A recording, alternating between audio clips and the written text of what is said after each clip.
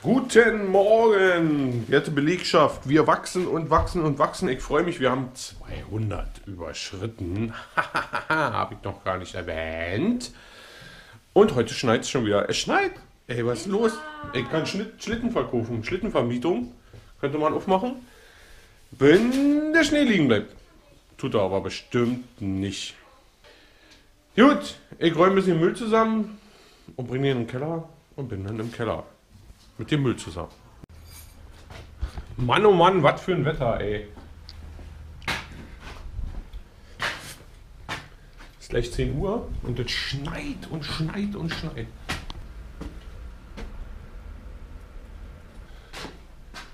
Hätten wir uns zu Weihnachten gewünscht, so ein Wetter. Jetzt ist es ein bisschen spät. So, immer schön produktiv bleiben. Wenn es jetzt so schneit, gehe ich in die, in die, ins Büro, in die Bürowohnung und werde da ein bisschen aufräumen, weil der Teig vernachlässigt schon. Hier. Haben wir, jetzt sind wir nach oben. Dieser Wackelkontakt, der nervt mich ganz schön ab. Also ich meine jetzt ehrlich. So. Äh, so, ich räume auf.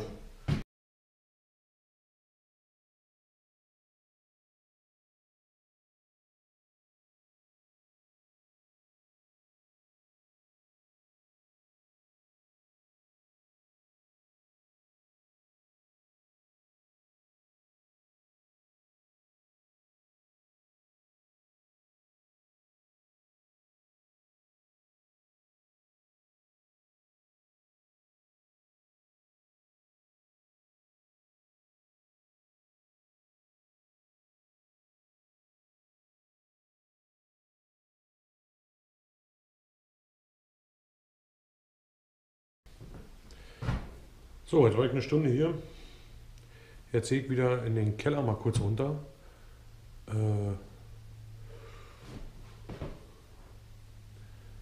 sieht schon wieder ein bisschen ordentlicher aus. Hier kann man wieder treten.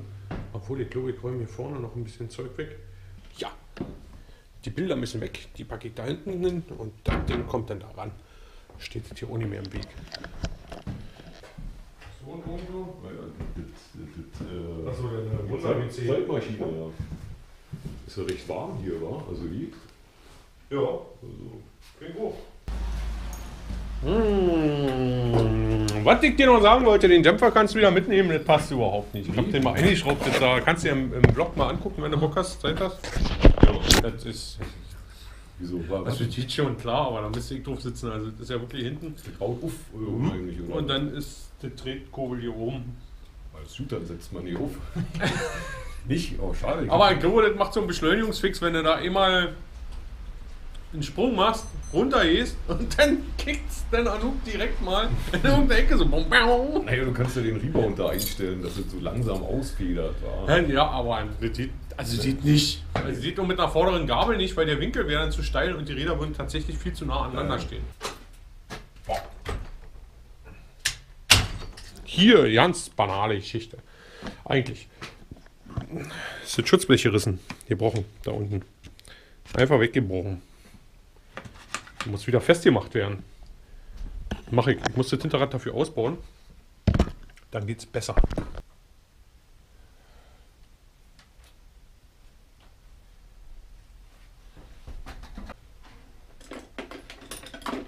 Jetzt schraube ich das hier ab. Jetzt das ab.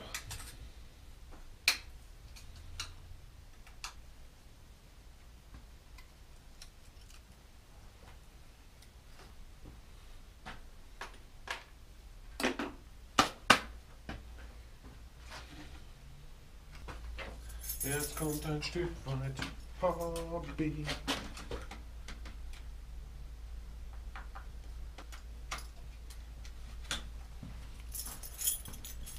Abschneiden, entgraten, damit es schön aussieht. Jetzt ich ein kleines Loch. Habe ich die Bohrmaschine oben gelassen?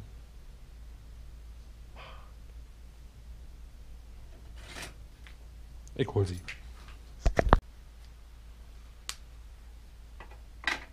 Jo.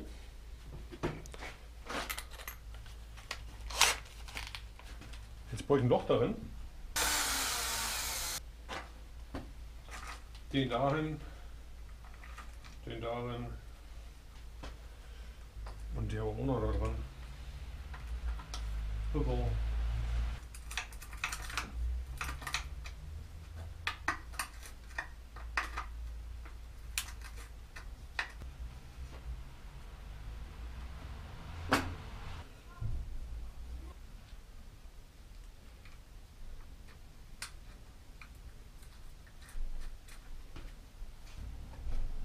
Super.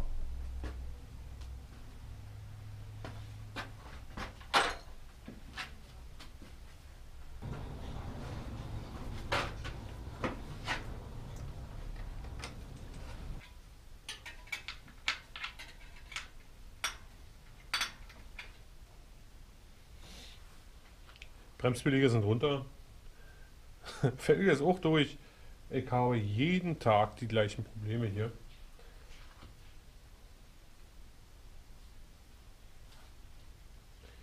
Ist ja kein Luftdruck drauf. Wenn ich richtig aufpumpe, dann geht die Felge auseinander. Vorne, vorne ist auch schon hohl gebremst. Also, Mann, schönes Rad eigentlich, aber in dem Zustand.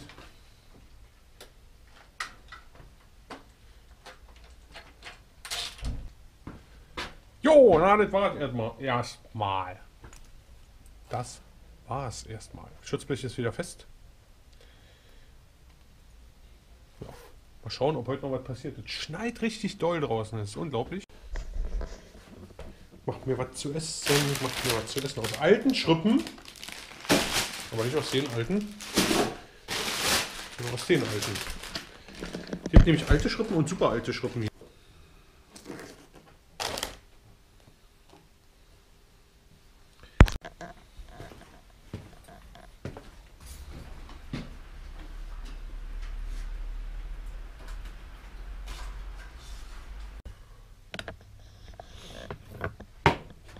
Ich sag nicht, was ich machen soll vor Langeweile. Probier Lampenschirme.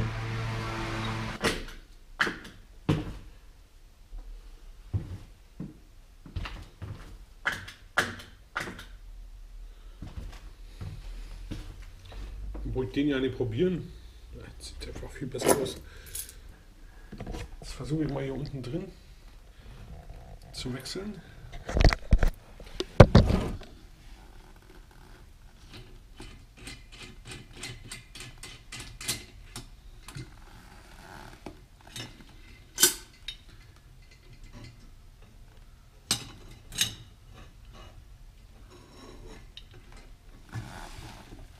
Ach Mensch.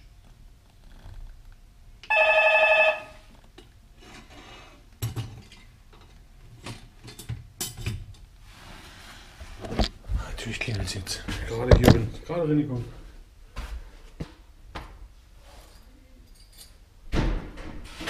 Was habt ihr denn? Ich wollte mal fragen, äh, ob man das noch retten kann. Platten, Platten. Ich weiß nicht, ob sich das noch lohnt zu operieren. Das ist aber schlecht. Wenn wegen Plattenreifen sich das nicht mehr lohnt zu operieren, dann hat man definitiv zu lange gewartet. Hat sie nicht gemacht. Übrigens 16 Euro war ihr nicht wert für einen Plattenreifen, weil noch, muss man dazu sagen, Bremse war im Arsch. Beide Züge haben nicht funktioniert, überhaupt nicht total festgerostet, Kette eingerottet, Bremsbeläge runter. Und auch sonst nicht der beste Zustand. Es passt nicht dazwischen. Mann, ey.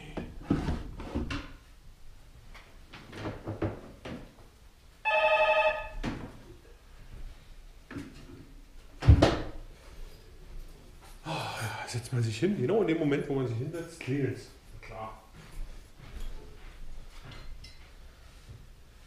Wo war ich denn stehen geblieben? Ach, bei dem. Bei dem.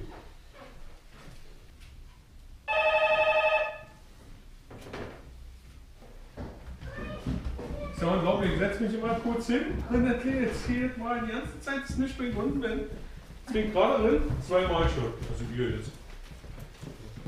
Melone. Das riecht sehr süß, auf alle Fälle. Das ist die süße Melone. Ja, ist ja schön. Und wie war? Falsch.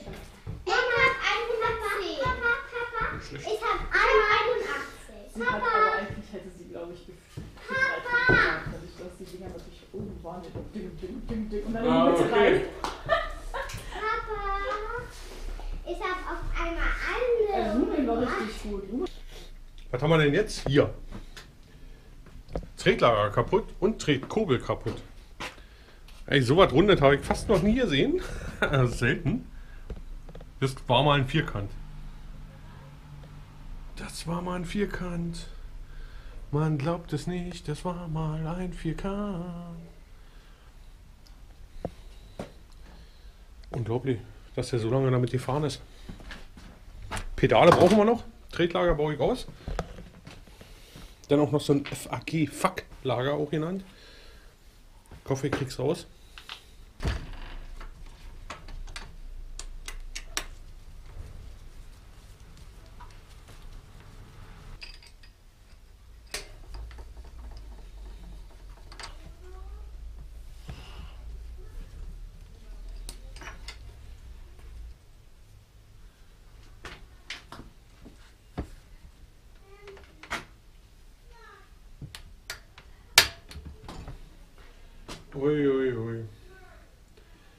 Das schon. Das will nicht. So, jetzt.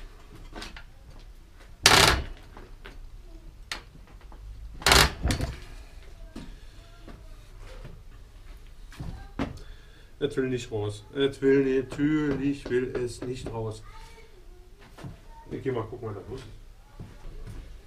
Ach, ja, ja, ja. So, jetzt habe ich gekontert hier. Ganz. Gekontert.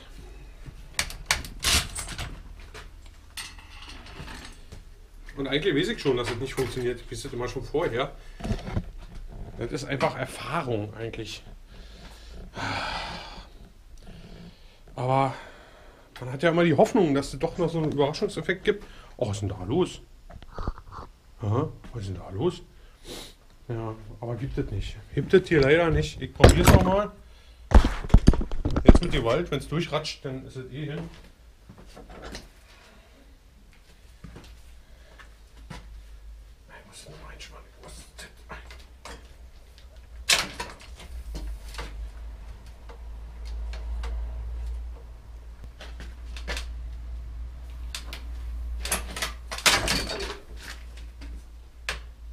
Ah ja. Ich hab's abgebrochen. Ich glaube, es ist abgebrochen.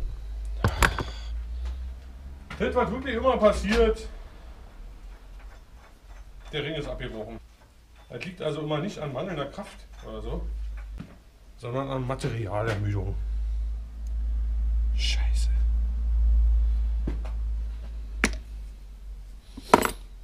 Und deswegen will sowas auch keiner machen. Sowas will einfach keiner machen. Mann, scheiße. ey. Ich bin der Dumme, ich mach das.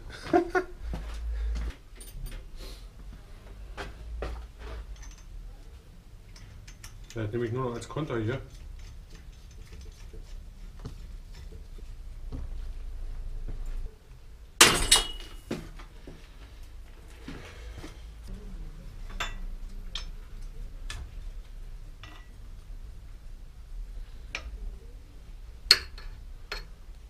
Auch weggebrochen. Materialermüdung. Zum Kotzen, ey. So, jetzt sind wir an dem Punkt, wo nur noch Gewalt hilft, wo man es echt rausprügeln muss, was aber jetzt geht, weil der fehlt ja alles. Man klappt die Achse zu der einen Seite raus, die Lager zu beiden Seiten raus, dann sind die Schalen weg, das Metall ist weg und dann sägt man einfach ein und dann ist das okay. Also so wenn das hier abbricht, ist eigentlich so ja ganz gut. Ich probier's mal.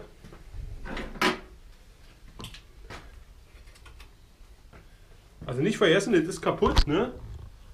Denkt doch mal daran, wenn das so kaputt ist, hier kam es ein bisschen raus sogar gerade. Sich schon ein bisschen nach außen gewölbt. Jetzt drücke ich die Seite hier noch durch.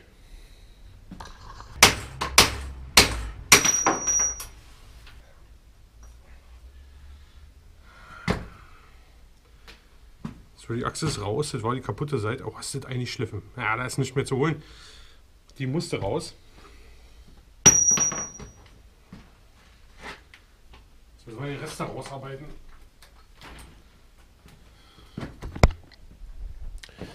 Ja, hier. Ja. Käfige und alles.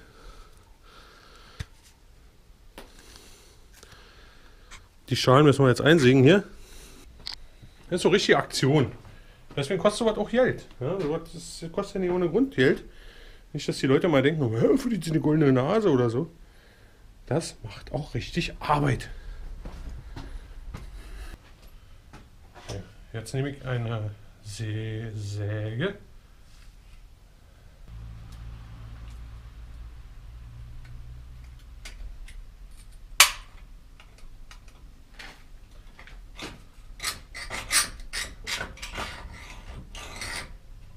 Ach, hier ist noch ein Metallring drin. Ach, Mensch, wollte ich doch ja rausnehmen, auch Reich fressen.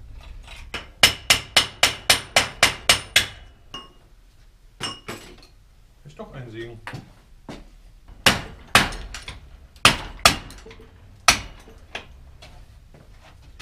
Ja, keinen richtigen Punkt hat hier zum Ansetzen, dann ist das richtig doof. Richtig bescheuert gerade.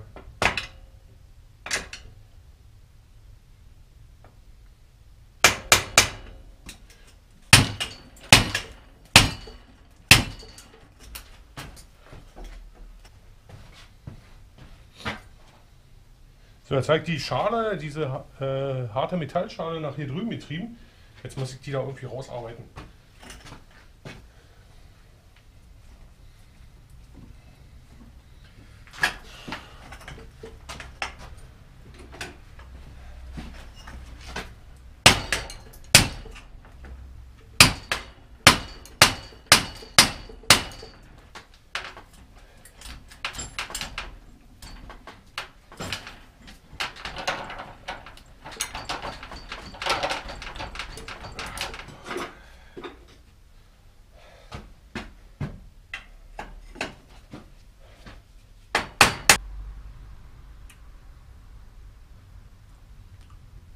Denn schon hier? Vertrödelt. Ach, schon drüber. Montagezeit schon um.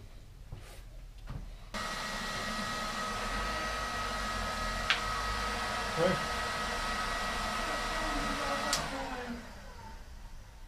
Ja? Finally, komm ich jetzt um das Laufrad zu holen.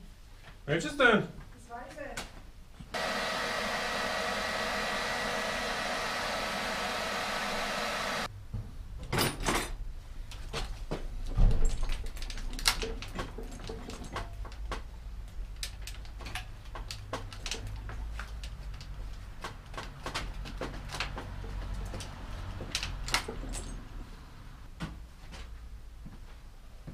So.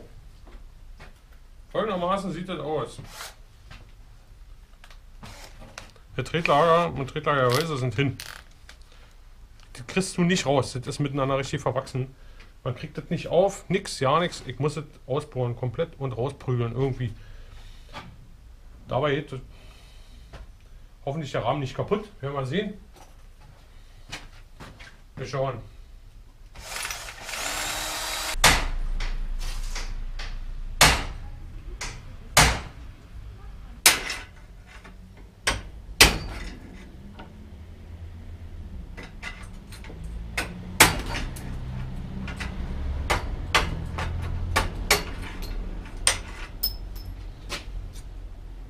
Boah.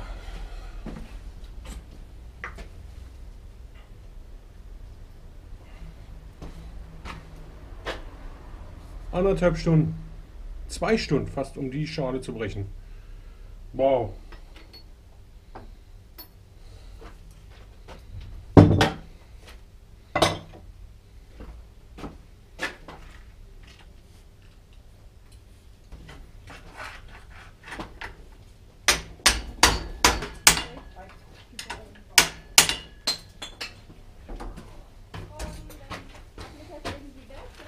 Nächste Schale vom Lager. Ich bin so froh, dass das jetzt vorwärts geht.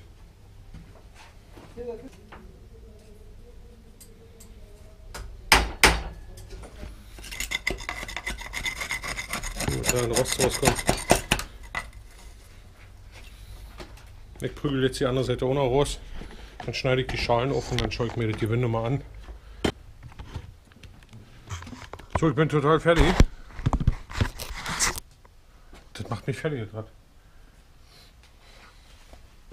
Wollte ich nächstes Mal ansagen. Also wenn das Lager fest ist, Großarbeiten nochmal 80 Euro. Das ist so. Muss man eigentlich knallhart sagen, weil zwei Stunden, ey. Ach, ich hab nur so Stress, ey. Ey. Kriegst du nicht raus.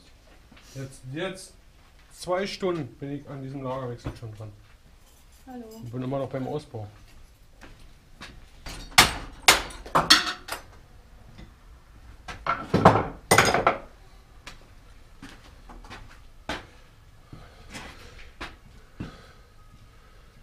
Sieg.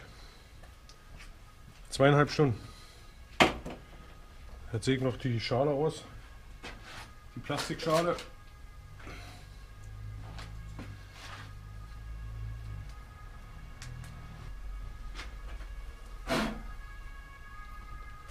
Boah, ist das eingemumpft. Ey, die ist durch, die ist fertig. Es kommen neue Winde zu erkennen. Ich glaube ja nicht, wie froh ich bin, dass ich das Ding raus hab. Um Himmels Willen, ey.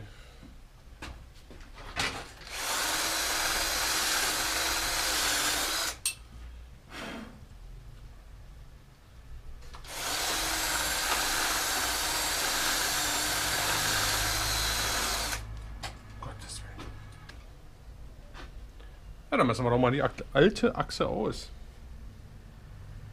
Äh, Darauf stehen tut es nicht, also müssen wir es ausmessen mit einem Messschieber. Ah ja, ich teste mal. Ich probiere doch nochmal mit die Winde einzubauen, weil das einfach von der Qualität auch besser ist. Ehrlich gesagt. Ich werde ja sehen, wie es greift oder nicht greift. Ob es greift. Ach, ist das halt schlimm, ey. So viel Arbeit.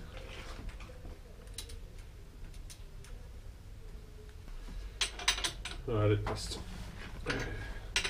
Dreht sich gut drin. Spart auch nicht ab.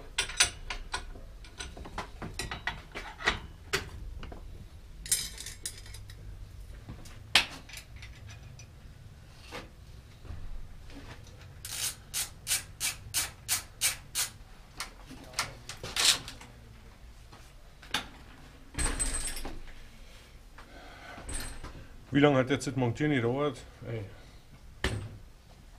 15 Minuten oder so.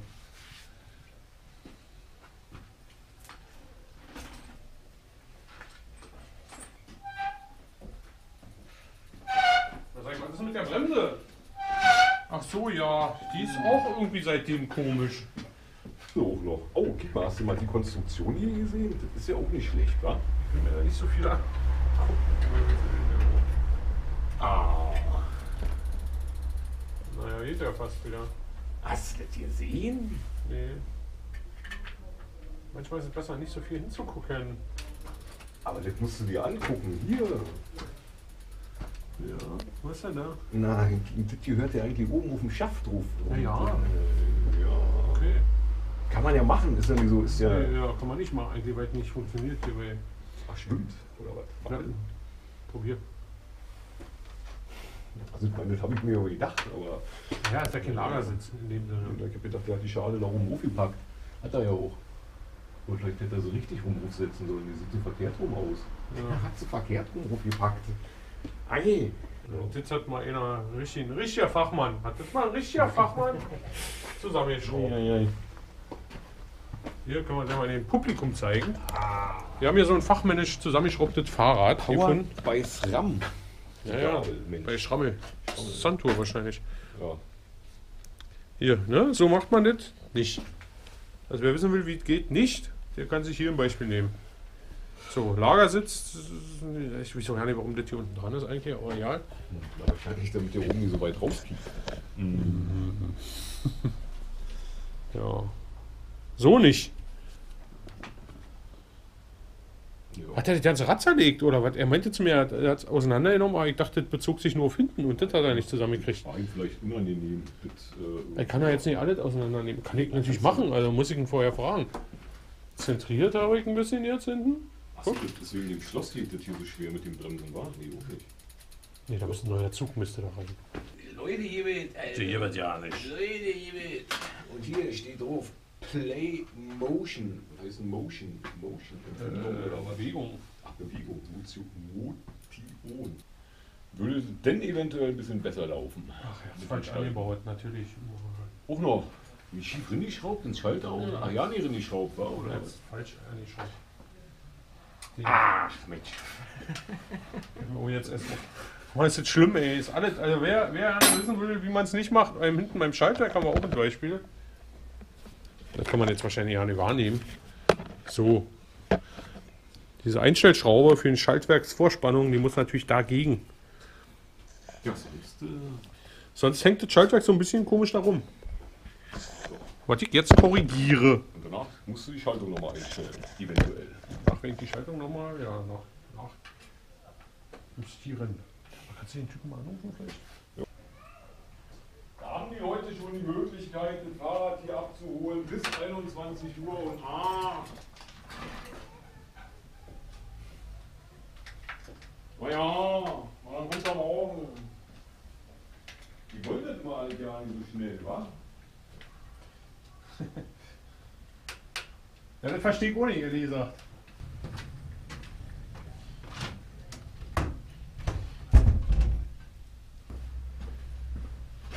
Ach, wie auch immer. Es läuft ja immer noch. Drei, drei vier Stunden. Gut, ich mach Feierabend. Äh, das war's für heute. Jetzt schon? Naja, auf dem, ja, auf dem Bild hier. Gut, ich mach Feierabend. Also, liebe Leute, wie aufregend war das denn? Und was zur Hölle war das für eine scheiß Tretlageraktion? Eine Kackpiste. Ich hab's geschafft. Das ist wichtig. Ich lebe noch. Wir sehen uns morgen. Den ganzen Tag hat es geschneit. Und am Ende kommt so eine Aktion. Also da freut man sich doch richtig auf zu Hause wieder. Ja, äh, die einzige Aktion heute, die war Tretlager. Zweieinhalb Stunden. Äh, nee, äh. Nicht für den Preis. Ich muss das ändern. Ich muss das den Leuten sagen. Das geht nicht. Musst du sagen, wenn Tretlager rausarbeiten, wenn das nicht rausgeht, kostet Tretlager rausarbeiten nochmal einfach 80 Euro mehr. Einfach nur wegen der Zeit. du. Sitzt da anderthalb, zwei Stunden an so einem Ding. Zweieinhalb Stunden halt gebraucht. Eine halbe Stunde effektiv, zwei Stunden vertrödelt, 120 Minuten, das sind 80 Euro. Das ist einfach 40 die Stunde, das ist ja Mindestlohn, das ist ja okay. Wenn du teilen Zeuge? 40 Euro die Stunde sind okay, kann man auch nehmen, wa? Ja, aber klar. Das siehst du. Dennis nimmt so, ja? Mehr. 70. 70, ja. Na, Minimum. Ich krepiere. Nein, geht nicht, kann ich mir nicht leisten. So was kann ich 50 Sekunden nicht leisten. Gut, tschüss. Schlaf Ciao. gut. Bis morgen.